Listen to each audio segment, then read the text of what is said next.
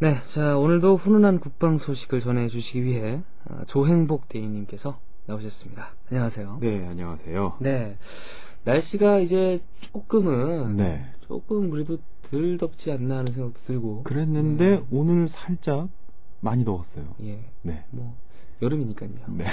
덥겠죠.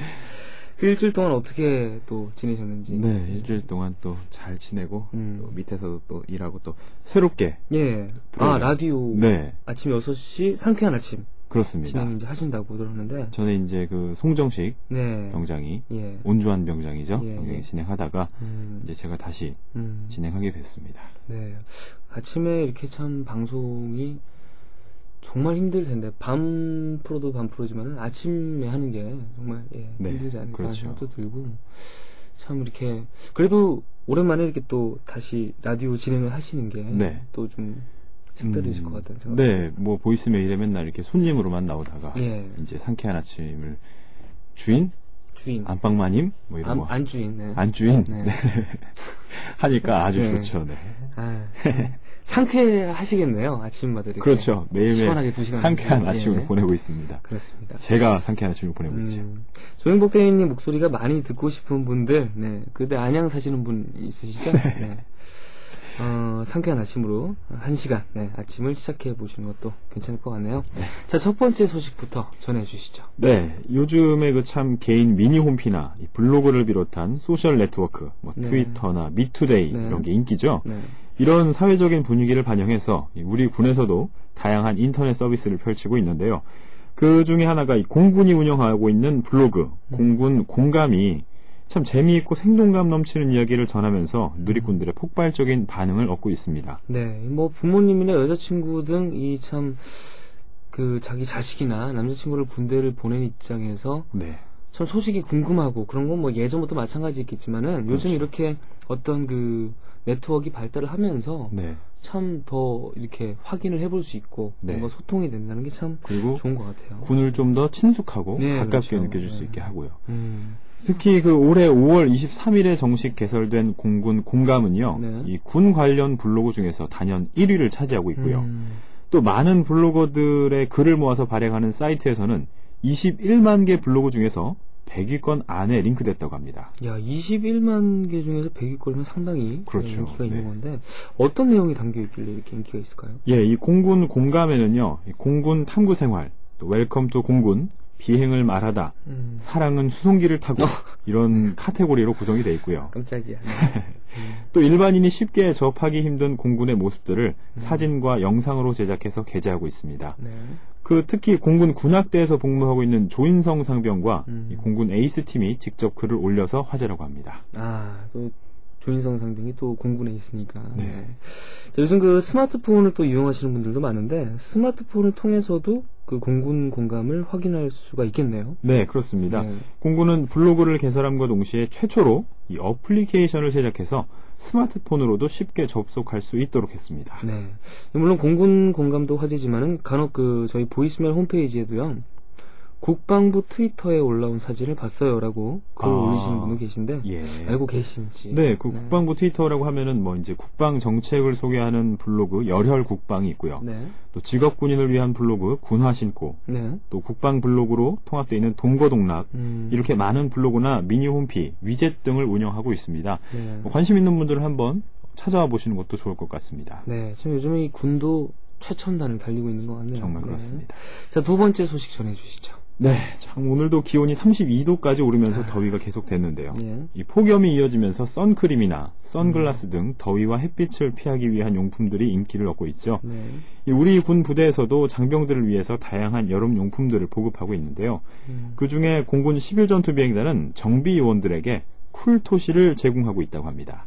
이상하게 그 국방 소식 저도 전하면서 네. 공군 11 전투 비행단 얘기가 자주 좀 나오는 것 같아요. 네, 뭘 11 전투 비행단이 많이 하나 봐요. 방송 욕심이 많은 것 같아요.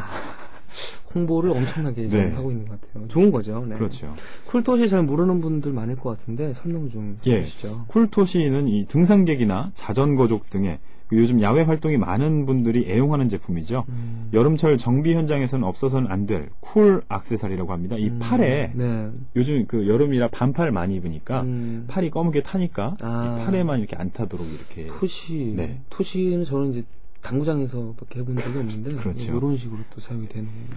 이 쿨토시의 최대 장점은 음. 통풍성과 신축성입니다. 음. 그늘이 전혀 없는 활주로에서 임무를 수행하는 정비 요원들의 경우 이 달궈진 비행 엔진 옆에서 작업을 하다 보면 화상의 위험도 또 많다고 하네요. 음. 하지만 이 쿨토시를 착용함으로써 더위도 피할 수 있고 부상의 위험도 크게 줄일 수 있다고 합니다.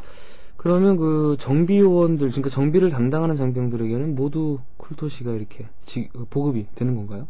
네, 공군 11전투 비행단은 그 야전 정비대대, 음. 부대 정비대대 등이 정비 담당 전 부서에 쿨토시를 일괄 보급해서 착용하도록 하고 있습니다. 음. 이 쿨토시 외에도 챙이 넓은 모자, 음. 또 선글라스, 시원한 반소매 대대 티셔츠 등을 보급해서 한여름 폭염 속에서도 자신들의 임무에 최선을 다하고 있다고 합니다. 네. 그 쿨토시가 이제 그 반팔이 아닌 반 소매 티셔츠. 네, 뭐 이렇게 네, 예, 얘기를 하면 되겠군요. 네. 어, 아무튼 그 가만히 있어도 참 이 땀이 흐를 만큼 더운데 아주 그 요즘처럼 이렇게 햇빛 아래서 뜨거운 햇빛 아래서 훈련받고 또 임무 수행하고 이런 국군 장병들 참 많이 힘들겠죠. 네. 나라를 위해서 이렇게 최선을 다하고 있으니까요. 많은 분들이 장병들에게 격려를 해주셨으면 좋겠습니다. 네, 아무튼 뭐 오늘도 어, 재밌고 좋은 소식 감사드리고요. 네. 자 매일 아침 이렇게 6시에 방송되는 네, 아, 상쾌한 아침도 여러분들 많이 사랑해 주시길 바라겠습니다. 감사합니다. 네. 자, 어, 조영국 대리님 다음 주에 그러면 다시 뵙도록 하겠습니다. 네, 감사합니다. 수고하십시오. 네, 저는 노래 듣고 오겠습니다. 퀸의 Don't Stop Me Now 그리고 어, Scouting for Girls의 She's So Lovely. 네, 여러분들 보내주신 별사탕 문자 소개해드리겠습니다. 어, 이찬솔님께서 네, 왠지 오늘 녹음 방송인 것 같은 유유 이렇게 하셨는데 생방송입니다. 네. 알겠죠? 네, 생방송인 거. 네. 자, 8237님. 토요일 날 관악구에서 영화 아저씨 무대 인사를 봤는데요. 영화 보기 전에 에스컬레이터로 올라가는데 바로 옆 반대쪽에 원빈 오빠가 올라가고 계셔서 손을 잡아버렸어요. 놀라는 모습도 멋졌답니다. 정말 완벽한 타이밍이었죠. 네. 어, 이게 되게 대담하게, 네. 대담하게 이렇게 손을 잡으시고, 그, 원빈 씨도 뭐, 예, 좀 뵌 적이 있는데, 어, 정말 실물이 너무너무 잘생기셨죠, 그죠? 네. 정말 저도 좋아하는, 네, 멋진 배우이고, 아저씨가 참 재밌다고 하더라고요. 근데 거의 뭐, 정말 원빈 씨 화보처럼 너무 멋있다고, 네. 그렇게 얘기를 들었습니다. 자, 7628님. 긴 휴가를 보내고 온 탓일까요? 엉덩이도 아프고 몸도 꼬이고 많이 힘드네요. 야근해야 하는데 에너지를 채워주세요. 라고 네, 하시네요. 그렇죠. 네, 좋은 게 있으면 나쁜 것도 있죠. 휴가는 좋은데 이 끝나고 난 후에 휴가 끝나고 일상으로 돌아온 자의 슬픔. 네. 근데 또 이 또 이제 또 뭘 뭐랄까 일주일에 한 번씩 또 주말을 보면서 또 그렇게 일주일을 사는 재미도 있으니까요. 네. 7435님, 동생에게서 가방을 선물 받았어요. 너무 마음에 들어서 오늘 바로 들고 나왔는데, 선물은 참 마음을 즐겁게 해주는데요.